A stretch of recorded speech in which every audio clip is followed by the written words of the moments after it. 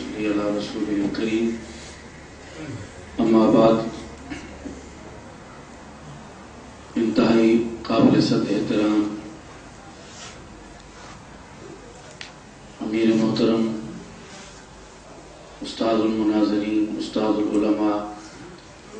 حضرت مولانا امیر احمد صاحب، زید مجدو دیگر قابل احترام، حضرات علماء کرام، اتحاد اہل سنت والجماعت کے اس علمی مسلکی نظریاتی پلیٹ فارم اور کاز سے وابستہ میرے نوجوان ساتھیوں، محترم بزرگوں، دور دراز کے علاقوں سے آپ حضرات سفر کر کے آج کی اس اہم نشست میں شرکت کے لیے تشریف لائے۔ اللہ آپ سب کی حاضری کو انتہائی قبول فرمائے اور ہم سب کو اس عظیم کاز اور محنت کے لیے مرتدم تک اپنی اپنی بساط کے مطابق کام کی توفیق عطا فرمائے۔ اثر تک یہ پروگرام چلے گا اور اہم بیانات اور ہماری ضرورت سے متعلقہ تمام باتیں وہ انشاءاللہ ہمارے بزرگ اور اکابر فرمائیں گے، وقت میرا مختصر ہے اور اس مختصر وقت میں مجھے حکم دیا گیا کہ میں آپ کے سامنے گزشتہ چند سالوں کی جماعت کی کارگزاری کے حوالے سے کچھ باتیں رکھوں اور آئندہ ہم کیا کرنا چاہتے ہیں یا کیا عزم ہے ہمارا، اس حوالے سے بھی مستقبل کے کچھ عزائم کا تذکرہ کروں۔ تو آپ توجہ سے انشاءاللہ سماعت فرمائیں گے اور اس حوالے سے فائدہ بھی ہوگا اور مزید اگر کوئی رائے اس حوالے سے آپ دینا چاہیں تو آپ کی رائے ہمارے لیے بہت قابل قدر اور اہم ہوگی۔ مستقل ایک نشست ہوگی انشاءاللہ جس میں آپ احباب کو اپنی رائے اور مشورے کا مستقل موقع دیا جائے گا فردن فردن شام کو۔ تو اس کے لیے بھی آپ اپنی آرا بھی نوٹ فرما لیں اور اس موقع پر ضرور اپنی تجاویز سے ہمیں آگاہ فرمائیں۔ پانچ سات سال کے مختصر سے عرصے میں الحمدللہ بزرگوں کی دعاؤں سے اور ان کی محنت، فکر اور اخلاص سے یہ جو ایک تنظیمی ڈھانچہ اور ایک سلسلہ اتحاد اہل سنت والجماعت کے نام سے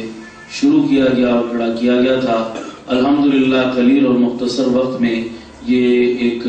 شجر سایہ دار بن گیا اور ایک برابر درخت بن کر ہمارے سامنے اس وقت کھڑا اور موجود ہے کہ بے سر و سامانی کے عالم میں بغیر کسی تعارف کے اور بغیر کسی قسم کے وسائل کے جو سلسلہ شروع کیا گیا تھا، آج پانچ سات سال کے عرصے میں نہ صرف یہ کہ پاکستان میں، بلکہ آپ کے اکابر کے نظریات کی یہ نمائندہ جماعت اتحاد علیہ سنت والجماعت نے دیگر بیرون ممالک میں بھی الحمدللہ اپنا وجود اور سکہ منوا لیا۔ ہے الحمدللہ کہہ دیں سارے۔ اور اس کا شاید ہمیں اپنے گھر بیٹھ کر اتنا اندازہ نہ ہو، لیکن ہمارے دشمنوں کی بغلاہٹ، ان کی پریشانی اور ان کی تل ملاہٹ اس بات کی دلیل ہے کہ ہمارے یہ علمی اور تحقیقی تیر نشانے پر لگ رہے ہیں، الحمدللہ۔ اور اس سے دشمن کتنا پریشان ہے، شاید ہمیں اندازہ نہیں اس کا کہ وہ رات دن اس فکر میں ہے کہ کسی طرح اس سلسلے کو توڑا جائے، ختم کیا جائے یا بدنام کیا جائے، اس کے لیے وہ آئے دن پروپیگنڈے اور اپنے اوچھے ہتھکنڈے استعمال کرتے ہیں، لیکن الحمدللہ اب تک ناکام رہے اور آئندہ بھی ناکام رہیں گے انشاءاللہ۔ اس مختصر وقت میں پانچ سات سال کے عرصے میں تو بے شمار جماعتیں ہیں، کام کر رہی ہیں اور ہم دیکھتے سنتے بھی رہتے ہیں۔ پانچ سات سال کی عمر جماعتوں اور تحریکوں کے لیے آپ کہہ لیں کہ پیروں پر کھڑے ہونے کے قابل ہونے کی عمر ہرگز نہیں ہے۔ بلکہ اس عرصے میں تو کوئی کسی کی انگلی پکڑ کے نہیں چل سکتا، چچائے کہ وہ خود اپنے پیروں پہ کھڑا ہو یا دوڑنا شروع کر دے۔ لیکن اس مختصر وقت میں الحمدللہ ہماری توقع سے بڑھ کر ہمارا کام ہوا اور اس کے نتائج اور اثرات پورے ملک میں نظر آ رہے ہیں۔ چند ایک جو قابل ذکر کام یا ہمارے منصوبے تھے، جن کو ہم نے اپنے آغاز سے جو ہے وہ شروع کیا تھا میں ان چند ایک قابل ذکر چیزوں کا تذکرہ کروں گا، وہ آپ کے سامنے لانا ضروری بھی ہے اس سے ایک تو کارکردگی سامنے آتی ہے اور دوسرا کام کرنے والوں کا حوصلہ اور عزم بلند ہوتا ہے اور مزید مستقبل میں کام کرنے کے حوالے سے سہولت فراہم ہوتی ہے۔ سب سے پہلا کام جو اتحاد کے پلیٹ فارم پر ہوا وہ یہ کہ بنیادی طور پر اتحاد علیہ سنت والجماعت ایسی جماعت ہے جو تحقیقی اور علمی کام کے لیے مارز وجود میں آئی۔ ہمارا کوئی سیاسی مقصد نہیں ہے، عسکری مقصد نہیں ہے۔ باقی سیاست کے لیے جو ہماری علماء دیوبند کی نمائندہ تنظیمیں کام کر رہی ہیں، وہ ہماری اپنی جماعتیں ہیں۔ سیاسی حوالے سے ہمارا تعاون ان کے ساتھ۔ مجاہدین اپنے اپنے محاذ پر جو کام کر رہے ہیں، ہماری دعائیں ان کے ساتھ ہیں، لیکن ہمارا جہادی یا عسکری کام پاکستان کی حدود کے اندر بالکل نہیں ہے اس حوالے سے۔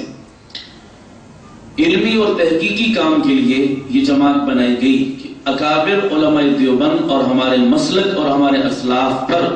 جو علمی اشکالات اور شکوک و شبہات پھیلا کر لوگوں کو گمراہ کیا جا رہا ہے، الہاد اور بدعات کا شکار کیا جا رہا ہے، تو لوگوں کے عقائد، نظریات کا علمی اور ٹھوس بنیادوں پر تحفظ کیا جائے۔ اس مقصد کے لیے جماعت بنائی گئی تھی۔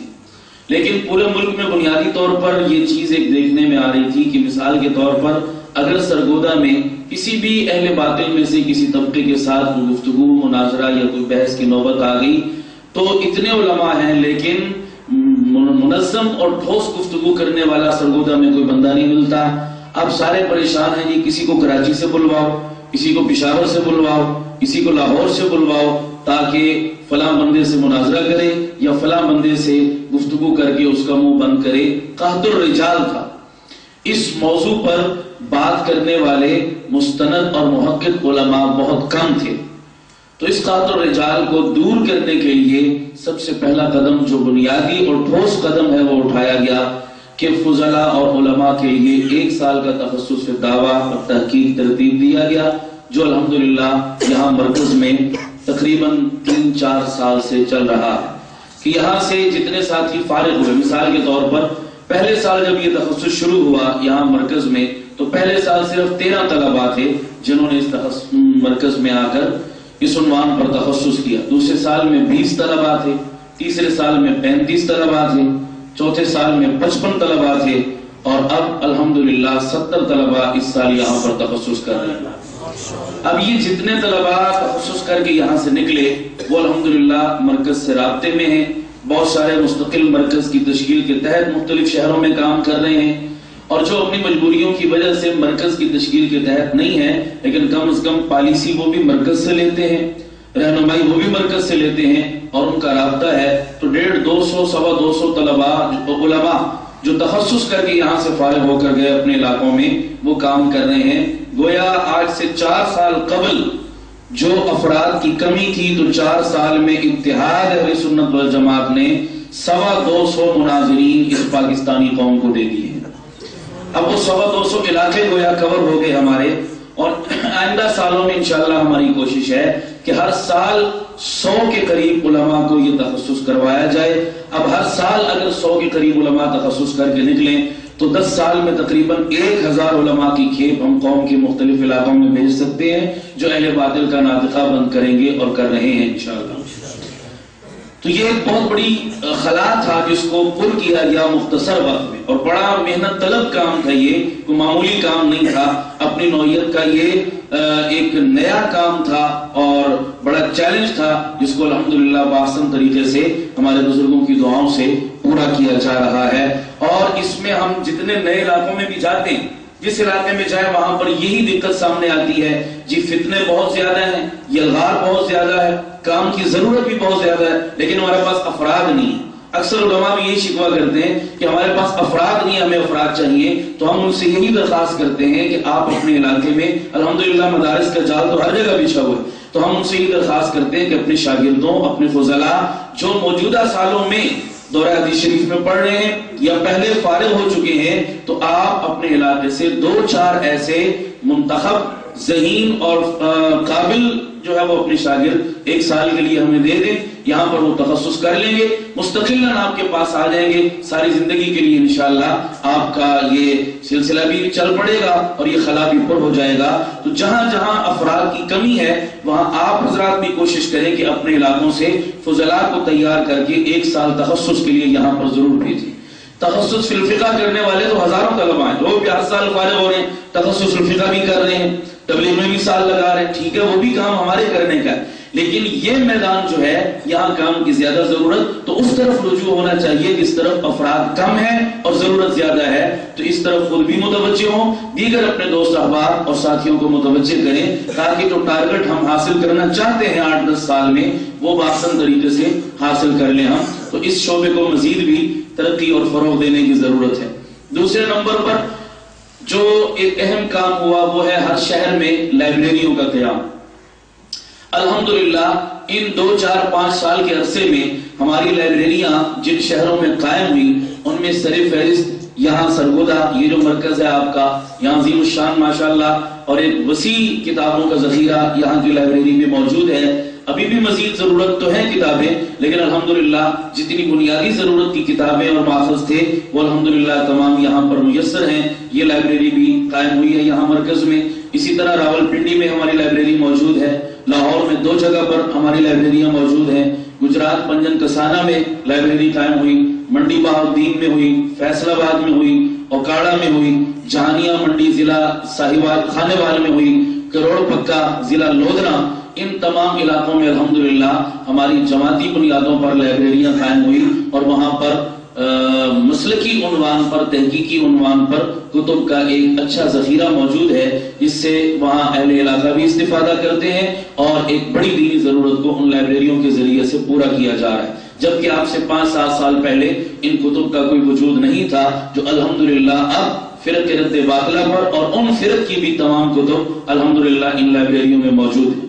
اسی طرح جو ساتھی یہاں سے فارغ ہو رہے ہیں تخصص سے ان کو باقاعدہ جماعت کے نظم میں بھی شہر کے مختلف علاقوں میں یا ملک کے مختلف شہروں میں تشکیل کیا جاتا ہے، بھیجا جاتا ہے، جہاں پر وہ جماعتی پالیسیوں اور ہدایات کے مطابق باقاعدہ جماعت کے نظم میں رہتے ہوئے خدمات سر انجام دیتے ہیں اور ان کی صلاحیتوں سے جماعت بھی اور لوگ بھی استفادہ کرتے ہیں۔ ان میں راول پنڈی اور اسی طرح فیصل آباد اور اسی طرح سندھ کے علاقوں میں اوکاڑا، لاہور ان مختلف شہروں کے اندر جماعت کے باقاعدہ مبلغین ہیں جن کا اور کوئی کام نہیں ہے۔ کوئی تدریس نہیں ان کی، کوئی امامت خطابت نہیں ان کی۔ وہ چوبیس گھنٹے مستقل اس تشکیل پر معمور ہیں۔ تو شہر علاقے میں کسی جگہ کسی بھی قابل ذکر فتنے کے خلاف کوئی گفتگو ہو، درس ہو اور سوالات کے جوابات ہو مناظرہ ہو، کوئی بھی سلسلہ ہو، اس کے لیے وہ ہمہ وقت تیار اور موجود رہتے ہیں اور جہاں ضرورت پڑتی ہے، لوگ ان کی خدمات سے استفادہ کر رہے ہیں۔ تو اب ان شہروں میں باقاعدہ یہ ہمارے ساتھی کام کر رہے ہیں۔ ان کو جماعت باقاعدہ وظائف دیتی ہے۔ ان کی تمام بنیادی ضرورتوں کا خیال رکھتی ہے اور اس کے لیے جماعت نے اس سلسلے کو آگے بھی مزید وسعت دینی ہے۔ ہماری خواہش ہے کہ پاکستان کے جتنے بھی مرکزی شہر ہیں، ہر شہر میں ہماری لائبریری اور مبلغ موجود ہونا چاہیے تاکہ اس شہر کی سطح تک کم از کم ہمارے مسلکی احباب کو کسی علمی حوالے سے دقت یا پریشانی کا سامنا نہ کرنا پڑے۔ تو اس کے لیے مبلغین کا یہ شعبہ اب بھی کام کر رہا ہے اور آئندہ مستقبل میں اس کو مزید وسعت دینے کا ارادہ ہے۔ اسی طرح جو ہمارا پرنٹ میڈیا ہے، میڈیا کا دور ہے اور اس میں ضرورت بھی تھی بہت زیادہ، تو پرنٹ میڈیا کے حوالے سے جرائد جو تھے، ان کو جو ہے وہ جاری کیا گیا۔ اس میں صرف فہرست سہماہی تین ماہ میں ہمارا قافلہ حق رسالہ جرد غیر مقلدیت پر ایک علمی مجلہ ہے۔ اور میں یہ سمجھتا ہوں، بلکہ پرزور اپیل بھی کروں گا آپ سے کہ علماء اور مدرسین اور جو مدارس سے وابستہ لوگ ہیں، ان سے میری بھرپور گزارش ہے کہ اس رسالے کو ضرور اپنے ادارے میں لگوائیں۔ خاص طور پر علماء کے پڑھنے کی یہ بہت کام کی چیز ہے۔ اگرچہ عوام الناس بھی اس استفادہ کرتے ہیں اور کرنا چاہیے لیکن یہ ایک بڑی اچھی کام کی چیز ہے، اس لیے یہ سماہی رسالہ ہے اور الحمدللہ ایک بہت بڑی تعداد میں اس وقت بھی یہ رسالہ چھپ رہا ہے۔ پورے ملک اور بیرون ممالک بھی جا رہا ہے۔ بڑے علمی مضامین اس کے اندر موجود ہوتے ہیں اور بسا اوقات ان رسالوں میں آدمی کو وہ باتیں مل جاتی ہیں جو شاید کئی ذخیم کتابوں کا مطالعہ کرنے سے نہ ملتی۔ کیونکہ ایک نچوڑ ہوتا ہے اور ماہرین صاحب قلم جو ہیں وہ اس میں لکھتے ہیں، تو یہ ایک بڑی کام کی چیز اور دستاویز ہوتی ہے۔ پھر ہر تین ماہ بعد بھی رسالہ چھپتا ہے، پھر جب سال پورا ہوتا ہے تو اسی رسالے کو باقاعدہ ایک ہی جلد کے اندر یکجا کر کے تمام کو اکٹھا الگ چھاپ دیتے ہیں۔ تاکہ کسی بندے کو اگر اپنی لائبریری میں اس کو مکمل ریکارڈ رکھنا ہو، تو وہ ریکارڈ کے طور پر ایک کتاب کی شکل میں اس کو تمام رسائل یکجا مل جائیں گے۔ تو پہلے سال کا بھی، دوسرے سال کے بھی، تیسرے سال کے بھی سالانہ ایڈیشن چھپ کر بھی آپ کو مارکیٹ میں آ چکے ہیں اور جن لوگوں کے پاس سابقہ شمارے نہ ہوں، وہ تینوں ایڈیشن خرید